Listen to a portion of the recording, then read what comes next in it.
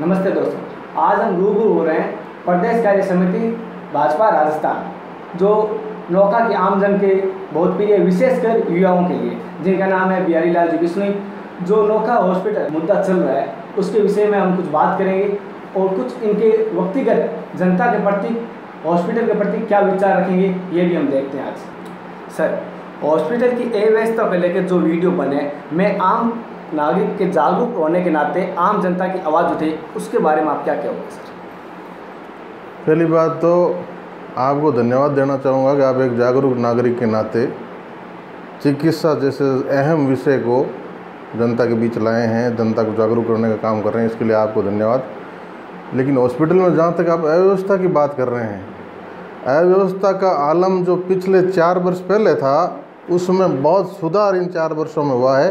इसलिए अस्पताल में निरंतर हर क्षेत्र में, चाहे इक्विपमेंट का क्षेत्र हो, चाहे डॉक्टरों का पोस्टिंग का क्षेत्र हो, चाहे नर्सिंग स्टाफ की अवेलेबिलिटी का मामला हो, चाहे डिलीवरी के केसेज हो, इन सब कामों में बहुत महत्वपूर्ण सुधार नौका अस्पताल में पिछले चार सालों में हुए हैं।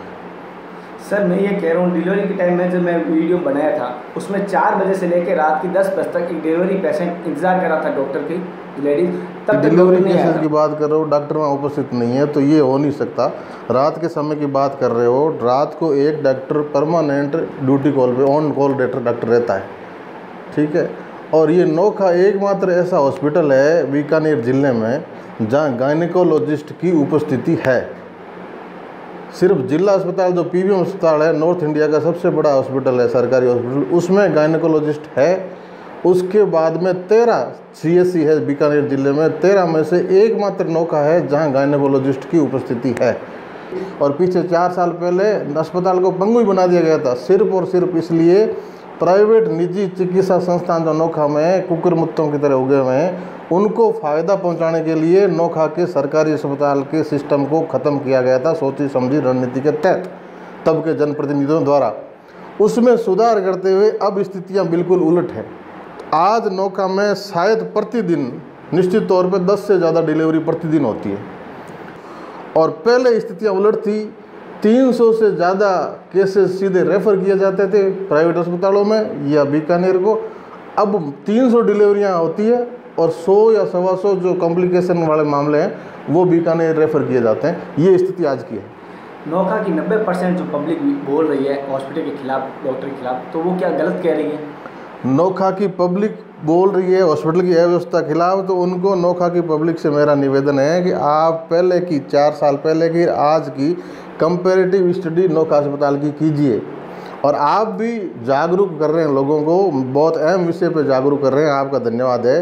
तो आप भी पूरे क्वांटिटेटिव डाटा लेके और पहले की आज की स्थिति की बात कीजिए तो जनता को अवेयर करिए कि भाई पहले क्या था, आज क्या स्थिति है। सर डॉक्टर की ड्यूटी आठ बजे की होती है। आज की तारीख में ये कहूँगा, सोलह तारीख की सुबह का वीडियो मेरे को किसी दोस्त ने सेंड किया है और लाइव चला के डॉक्टर सवा नौ बजे तक डॉक्टर वहाँ पे नहीं थे और नौ बज के दस बजे वो टिकट जो अपनी रसीद काटते हैं वो खुला था तब तक वहाँ डॉक्टर नहीं आता और जो डॉक्टर लेट आते हैं। दोस्त उसके लिए भी हमने बंदोबस्त किया है। ये भी एक समस्या थी ना। सर आज मैं कोई मैं कोई जीता हुआ प्रतिनिधि नहीं हूँ हाँ। लेकिन मैं एक सत्तारूढ़ पार्टी का कार्यकर्ता हूँ। ज़्यादा बड़ी हैसियत मेरी नहीं है हाँ। लेकिन जो भी मेरी हैसियत है उससे बढ़ के मैं इस व्यवस्था को सुधारने में लगा हुआ हूँ। और नोखा में जो आप उपस्थिति की बात कर रहे हैं कि डॉक्टर सवा नौ बजे उपस्थित नहीं है तो उसी समस्या को दूर करने के लिए ये इस बार हमने बायोमेट्रिक सिस्टम अडोप्ट किया है नौका हॉस्पिटल में कि आठ से लेकर बारह तक सुबह का आउटडोर है और शाम को पाँच से सात का आउटडोर है। आठ से बारह और पाँच से सात कोई डॉक्टर वहाँ उपस्थित नहीं है, या तो वो छुट्टी पे है और वहाँ वो छुट्टी नहीं होते हुए उसकी प्रेजेंट बोल रही है और वो हाजिर नहीं है। ऐसा कोई मामला है तो तुरंत बड़े अधिकारियों के संज्ञान में हम लाएँगे। ऐसी कोई शिकायत है तो आप लाइए। स्वागत है आपका। सर लिखित में और लेटर के द्वारा एस को कलेक्टर को जो कंप्लेन हो जाती है और कहने को ये आप भी सरकारी सर, अफसर रह चुके हो सरकारी आप जॉब कर चुके हो आपको भी पता है सरकारी का ट्रांसफ़र होता है।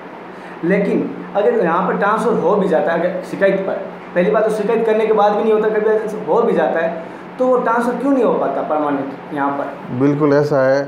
पहली पहली बात तो आपको पर्टिकुलर केस की बात करें तो अपन उस पर आएँगे लेकिन डॉक्टरों के ट्रांसफ़र की तो बात छोड़िए। हम तो उस बात से जूझ रहे हैं कि डॉक्टरों की इतनी भयंकर कमी है। डॉक्टर नहीं है ढूंढे भी नहीं मिल रहे। डॉक्टरों को यहाँ हम जो भी लाए हैं प्रयास से बड़े विनती से प्रयास से लाएँ कि आप नोखा में इतना बड़ा काम है आप आइए। ये स्थितियाँ हैं डॉक्टर की। डॉक्टर इस ग्रामीण क्षेत्र में आना ही पसंद नहीं करते क्योंकि डॉक्टरों की कमी है। और राज्य सरकार ने, इस वसुंधरा जी की सरकार ने इस बार इस गंभीर विषय पे बहुत बड़ा काम किया है कि पाँच से सात नए मेडिकल कॉलेज की घोषणा की है और उनमें से पाँच को हमारे एम की मान्यता इस बार मिल चुकी है। उनमें सौ सौ सीटों को सैंक्शन नंबर मिल चुकी है और 500 नए डॉक्टर, हर साल नए डॉक्टर यहाँ हमारे को मिलेंगे। और आने वाले इस बड़े कदम से आने वाले समय में डॉक्टरों की कमी पूरी होगी। निश्चित तौर पे इस व्यवस्था को सुधारने में मदद मिलेगी। क्या सर हॉस्पिटल के बेड बनाने की जो मांग है जो एक बेड पर दो दो डिलीवरी वाले केस हो रहे हैं उनके बारे में आप क्या कहोगे सर? देखो हॉस्पिटल पहले अपना सौ बेड का हॉस्पिटल करने की वो तो बेड बढ़ाने के पीछे गहलोत सरकार में ये घोषणा भी हुई थी बेड बढ़े भी हैं। तो और भी इस तरह की ज़रूरत होगी तो निश्चित तौर पर सरकार इस पर हम इस पर बात को लिखेंगे और बेड भी बढ़ाएँगे। और डॉक्टरों की स्टाफ भी स्पेशलाइज, स्पेशलाइजेशन किए हुए लोग भी यहाँ हैं। और डॉक्टर जो यहाँ से बाहर गए हैं, जैसे डॉक्टर घनश्याम स्वामी अपने इंचार्ज थे, जूनियर मेड जून मेड, कनिष्ठ विशेषज्ञ हैं मेडिसिन के तो आज वो पोस्ट खाली है। तो डॉक्टर घनश्याम स्वामी का जो चुनाव, उपचुनाव में ट्रांसफ़र कर दिया गया था अजमेर, हम उसको वापस प्रयास कर रहे हैं कि डॉक्टर स्वामी को वापस नौका लाएँ। तो मेडिसिन का एक जो डॉक्टर वैकेंट चल रही है, वो कमी पूरी हो।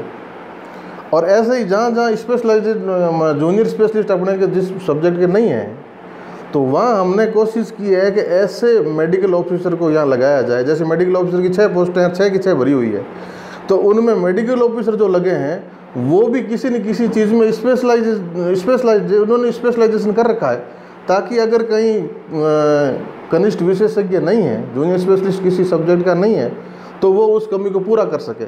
जैसे अपने पास अभी एनेस्थीसिया का जूनियर स्पेशलिस्ट नहीं है। तो एनेस्थीसिया में जो मेडिकल एमओ है डॉक्टर मिड्डा, वो एनेस्थीसिया में कोर्स किए हुए हैं डिप्लोमा किए हुए हैं तो वो उस पर काम कर रहे हैं। सर, नोखा, ये 210 गाँव की हॉस्पिटल के बीच में है और पाँच लाख की पब्लिक है प्लस सिर बालाजी यहाँ जो पास के गाँव से दूसरे जो नोखा तहसील के अंदर नहीं है, फिर भी आते हैं। और यहाँ आप क्या मानते हो छः लाख की पब्लिक के बीच में ये हॉस्पिटल कंप्लीट है? फुलफिल है। देखो कोई भी व्यवस्थाएँ अपने आप में परिपूर्ण नहीं होती। हम्म। लेकिन सब लोगों का एक प्रयास होना चाहिए कि अपन उस दिशा में जितना एफर्ट्स कर सकते हैं उतना करना चाहिए। इस सीएससी में आज की तारीख में आप पॉपुलेशन की बात करें तो निश्चित तौर पे संख्या जनसंख्या तो बढ़ बढ़ रही है। उनकी चिकित्सा सुविधाएँ भी उस हिसाब से बढ़नी चाहिए। सरकार भी उसमें प्रयास कर रही है। तो यहाँ आज की तारीख में आप एक जगह एग्जांपल देखो कि आज लगभग सालाना आउटडोर इस हॉस्पिटल का 700 से 800 का है। जो पीछे चार साल, पाँच साल पहले 400 के लगभग था। मतलब आउटडोर डबल हो गया है। तो कुछ न कुछ यहाँ सुविधाएँ बढ़ी है, कुछ डॉक्टरों की व्यवस्थाएँ हैं, तभी तो इतने डबल संख्या में आउटडोर में पेशेंट आ रहे हैं उनको ट्रीट किया जा रहा है। कुछ तो व्यवस्थाएँ हुई है।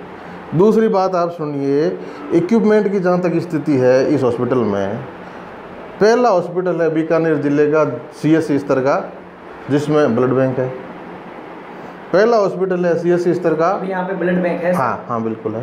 पहला हॉस्पिटल है सी एस सी स्तर का जिसमें डिजिटल एक्सरे मशीन है। पहला हॉस्पिटल है सी एस सी स्तर का जिसमें डेंटल का एक्सरे मशीन है।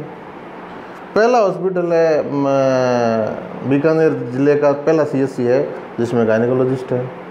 मतलब पहला हॉस्पिटल है जहाँ आँखों से संबंधित फेको मशीन है नोखा में और इन सब के ऑपरेटर हैं विशेषज्ञ हैं। तो ये सारे इक्विपमेंट बीकानेर ज़िले की किसी दूसरी सीएससी में नहीं है, आपके नोखा में है। और इसमें सरकार ने भी मदद की है और दो मशीनों में दानदाताओं ने भी मदद की है। जैसे डिजिटल एक्सरे मशीन में बामा शाह कुलरिया परिवार ने, नरसिंह जी बंवर जी ने, पूनम जी ने, इन्होंने मदद की है। एक जो मशीन है डेंटल एक्सरे की, उसमें धारणिया परिवार में राम स्वरूप जी राम जी, इन्होंने मदद की है। और फेको मशीन जयपुर से मंगवाई गई है। तो ये सारी चीज़ें ब्लड बैंक भी शुरू हुआ है। नोखा में एकमात्र सी एस सी में कहीं नहीं है दूसरी जगह ब्लड बैंक तो चालू है बंद है? चालू है चालू है चालू है। हाँ। सर मैंने ये हॉस्पिटल के संबंधित हर जन प्रतिनिधि के पास मैंने रिक्वेस्ट की है और कुछ को मैंने अपील भी की जाके आपने देखा है आम जन को भी पता है। लेकिन मेरे साथ कोई खड़ा होकर तैयार क्यों नहीं है इस संबंध में? देखिए हम आपका इस बात के लिए धन्यवाद किया है कि आप इस चीज़ को बहुत महत्वपूर्ण विषय है इस पर जनता को जागरूक कर रहे हैं। जनता को अवेयर होना भी चाहिए। और इस विषय पे आपसे मैं एक रिक्वेस्ट और करता हूँ कि अस्पताल की वर्तमान इक्विपमेंट की स्थितियाँ क्या है, वर्तमान डॉक्टरों के प्लेसमेंट की स्थितियाँ क्या है नर्सिंग स्टाफ के प्लेसमेंट की स्थितियाँ क्या है, वो पीछे की कंपेरेटिव स्टडी भी आप करके पब्लिक डोमेन में लाइए। दूसरी बात, यहाँ जो जो कमियाँ हैं, आपके माध्यम से उजागर होती है, बढ़िया है, हम खुद इसके लिए अवेयर हैं, हम खुद इस पर पता कर रहे हैं, जैसे अभी हमारे पास हॉस्पिटल में डॉक्टर पेड़ीवाल जी के रिटायरमेंट के बाद सर्जरी का डॉक्टर नहीं। है ठीक है। ऑर्थो का डॉक्टर नहीं है हमारे पास। ईएनटी का डॉक्टर नहीं है हमारे पास। तो इन तीनों स्थितियों पे हम कोशिश कर रहे हैं कि जैसे भी संभव हो हम डॉक्टर लाने की कोशिश कर जैसे मैं ये नाम लेके कुछ जनों के नाम लेके मैं ओपन कर रहा हूँ क्योंकि मुझे आम पब्लिक के सामने सत्य ला रहा हाँ। हूँ मैं कन्हैयालाल जी के पास गया आसगंज जी भट्टर को कॉल किया निर्मल जी को भी कॉल किया था। सबको कहा मेरे को हेल्प चाहिए। हाँ। मुझे आवाज़ उठानी पब्लिक की सपोर्ट कीजिए। मैं आम मेरे पर्सनल ये कोई नहीं है ना मेरे कोई वहाँ पेशेंट है। हाँ। फिर भी मेरे साथ कोई क्यों नहीं चल रहा है हैं? ऐसा है, वो चले, नहीं चले, वो जाने। और उनको तो कन्हैयालाल जी को तो पहले ज़िम्मेदारी दी गई थी जनता द्वारा, वो विधायक थे, संसदीय सचिव थे, और अशोक जी गहलोत की अल्पमत की कांग्रेस सरकार उनके कंधों पे चल रही थी। वो चाहते तो इस हॉस्पिटल का इतना बड़ा कायाकल्प कर सकते थे कि जिसका कोई मुकाबला ही नहीं है। लेकिन चाहने चाहने में फ़र्क होता है। उनके कार्यकाल में इस अस्पताल का इतना मटियामेट किया गया, और सिर्फ़ इसलिए कि नौखा क्षेत्र के जो भी निजी अस्पताल है, उनका हित साधन करने के लिए इस अस्पताल की व्यवस्थाओं को ख़त्म किया गया। और आज मैंने आपको एक एग्ज़ाम्पल दिया। पहले जहाँ डिलीवरी केसेस 300 से ज़्यादा की संख्या में रेफर हुआ करते थे, आज 300 से ज़्यादा की संख्या में पर मंथ डिलीवरी केसेस यहाँ होते हैं। और पहले 100 मुश्किल से 100 या सवा सौ डिलीवरी केसेस होते थे। आज सिर्फ़ कॉम्प्लिकेटेड केसेस जो 100 या सवा सौ मुश्किल से होंगे, वो बीकानेर रेफ़र किए जाते हैं। तीन सौ से ज़्यादा यहाँ डिलीवरियाँ होती है। आप अंदाज़ा लगाइए, एक डिलीवरी केस अगर प्राइवेट हॉस्पिटल में जाता है तो आम आदमी का तीस से चालीस हज़ार का नुकसान होता है। और तीसरी बात, इस अस्पताल में आज की तारीख में हमने एक व्यवस्था और की है कि फ्री मेडिकल का जो फ्री मेडिसिन का जो सिस्टम है, उसमें 500 से ज़्यादा लिस्टेड दवाइयाँ यहाँ उपलब्ध है। और उसमें कोई जैसे कोई दवाई बाई दवे यहाँ नहीं है तो उसमें सीएससी इंचार्ज को हमने एक परमिशन दिलवाई है कि भाई वो अपने स्तर पे उसको खरीद सकता है ये उसको परमिशन दिलवाई है और तो फिर- फिर भी कुछ पेशेंट बाहर से लेके आ रहे हैं फिर भी बाहर से आपको दिखाया मैंने वाकई तो वीडियो में है हाँ। कृष्णा मेडिकल में कुछ अपने गार्जियन पिताजी की दवाई लेके आ रहे थे हाँ। और कुछ ने अभी आपको बताऊँ सारी जांचें डॉक्टर ने सीधा कहा बाहर से जाओ हाँ। ये क्यों कहा उन्होंने ऐसा कोई केसेस है तो लाइए अपन इसको एग्जामिन कराएँगे और बिल्कुल है तो उसको दंडित भी करेंगे अपन आपने जिन्होंने मेरे को दिया था बयान उन सभी से अपील करूँगा एक बार वो जो लिखित में आपके पास पूर्व मेरे पास लेकर आइए मैं आपको यहाँ से गुजारिश करेंगे। सर जो अब मैं ये कह रहा हूँ जो आपने बोला जनप्रतिनिधि अपनी मर्ज जो जनप्रतिनिधि मैं सीधा कह रहा हूँ जो जो सपोर्ट नहीं कर रहा आम पब्लिक को हाँ। पब्लिक उनको किस स्तर पर चुनेगी? अब ये पब्लिक जनता जनार्दन है उस पर ही छोड़ देना चाहिए। जनता जनार्दन का फैसला फिर सिर मात्र सर, ऐसा कोई हेल्प नहीं। सीधा डायरेक्ट एक्शन ले या कंप्लेन कर सके आम पेशेंट या आम कोई जागरूक नागरिक। ऐसा कोई है सुविधा? बिल्कुल है साहब। पहली बार इस सरकार में वसुंधरा जी ने एक सिस्टम शुरू किया है, संपर्क पोर्टल का। उस पर कोई भी व्यक्ति, आम आदमी, अपनी किसी भी तरह की, चाहे अस्पताल से संबंधित बात हो, चाहे किसी भी महकमे से संबंधित शिकायत हो, वो उस पर दर्ज करवा सकता है और उसका तुरंत समाधान के लिए पूरी सरकारी मशीनरी एक्टिवेट होती है और उसका उचित समाधान करती है। और फिर उसका सेटिस्फेक्शन भी बाकायदा सरकार द्वारा पूछा जाता है कि आपकी ये समस्या थी, इसका ये समाधान किया गया है, क्या आप अपनी समस्या के समाधान से संतुष्ट हैं? ये तकातक सिस्टम इस सरकार ने किया है जो पहली बार हमने इन पिछले सालों में किसी सरकार द्वारा किया गया सिस्टम अनूठा। सर मैं ये कह रहा हूँ जो डॉक्टर ड्यूटी के टाइम घर पे फ़ीस ले रहे हैं उसके संबंधित आप क्या कहोगे? जो डॉक्टर उस दिन ड्यूटी पे है लीव पे नहीं है छुट्टी पे नहीं है और उसकी ड्यूटी बोल रही है और उस ड्यूटी और में आठ से बारह और पाँच से सात अगर वो घर पे फ़ीस ले रहा है तो आप कैमरे के साथ यो वीडियो बना के लाइए। ऐसे डॉक्टर की सरकार में कतई ज़रूरत नहीं है उसको घर भेजेंगे। क्या आम आदमी को अधिकार है वो वीडियो बनाने का? आजकल आम आदमी ही तुरंत वीडियो बनाता है। सोशल मीडिया का इतना बड़ा ज़माना है सब तरह के वीडियो तुरंत बनते हैं। सर और जो डॉक्टर परमानेंटली कंटिन्यू जो लेट आते हैं उनके बारे में क्या कहोगे? पेशेंट इंतज़ार करते हैं, गाँव से सात बजे आके वेट लाइन में लग जाते हैं और डॉक्टर दस बजे तक नहीं पहुँच पाते। आठ से बारह का समय है बायोमेट्रिक सिस्टम अडोप्ट कर लिया है। उसमें अगर कोई डॉक्टर लेट आता है तो मैं कल ही इस बात को सी एम एच ओ को बात करूँगा कि भाई आप आठ बजे आपका सिस्टम चेक करिए। आठ से सवा आठ के बीच में आपके सारा स्टाफ बायोमेट्रिक सिस्टम पे आता है कि नहीं आता है? उसके किस किस के थम इम्प्रेशन आते हैं वो सारी चीज़ें मैं कल ही डॉक्टर सी एम से बात करके चेक कराऊँगा। सर। सर आम नागरिक के क्या क्या करते हुए होते हैं जो सरकारी डिपार्टमेंट में वो आवाज़ उठा सकता है? आम नागरिक के इस देश को सुदृढ़ बनाने के लिए इस देश की प्रदेश की व्यवस्थाओं को सुधारने के लिए आम आदमी का बहुत बड़ा दायित्व है। हमारी जितनी डिमांड्स है या जितना हमारा हक है हमारी ड्यूटी भी उतनी बनती है।